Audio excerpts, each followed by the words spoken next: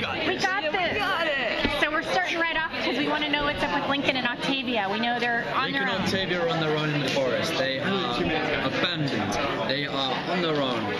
Octavia has a, an arrow in her leg. And from season one, we remember that injuries aren't quite as they seem. They're not that simple, and so things are going to get complicated very quickly. So from the off, we're going to learn a little bit more about the world and a little bit more about the two's relationship.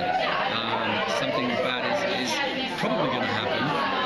Um, and then for the whole season, it's just going to get darker. You know, they're going to be really put through the paces. Um, Lincoln's always had a moral compass. He's always been a good guy.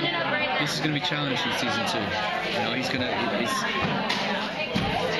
He's, going to go through some very bad times. I've been pitched a story by Jason Rothenberg and our writers that research, and really do my homework because the material they've given me is going to be very dark. It's something I've never done before, and it's something that I want to really give, you know, give 110% for.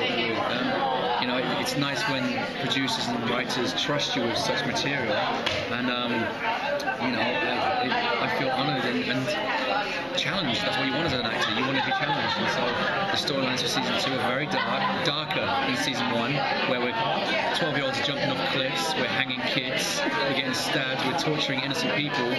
That's Disneyland. Season two is darker, and that's just three episodes of a story that I've been pitched. So I already know that season two is bringing it. And after the finale, it was kind of like, where'd you go from here? They answered it. They've answered it. It gets dark straight away. So it's nice to be challenged, and, and I'm looking forward to it. I mean, can you just talk about becoming a series regular that has to? That has Um, to yeah. I mean, obviously that's an honour. It's, it's it's an honour to be you know a part of this show, an Emmy-nominated show already in its first season. Um, but it doesn't keep you safe. I think we saw last year that just because you're a series regular, you can be gone. You can be gone at any time, and that that's going to be true this season. You know, we, nobody is safe, and you know, I doubt everyone's going to survive.